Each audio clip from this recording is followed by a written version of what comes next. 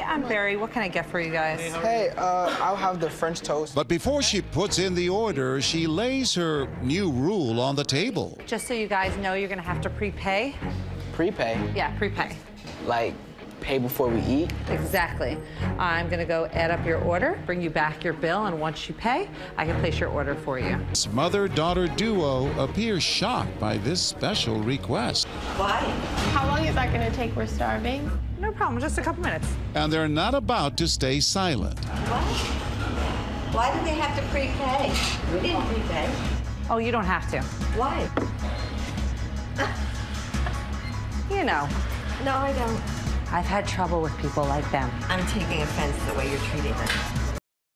Oh my God. With that, she's on her feet, telling the manager just what went down. Their food until they pay.